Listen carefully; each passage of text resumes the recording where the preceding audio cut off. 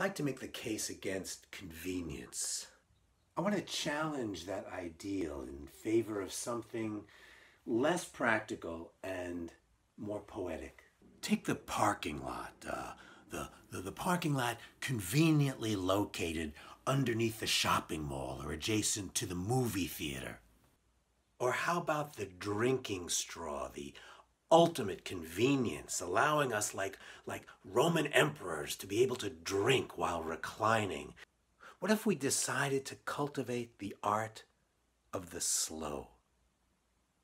What if we committed ourselves to seeing things carefully, thoroughly, to reclaim the ideal of Henry James, who described the condition of a writer as someone upon whom nothing is lost.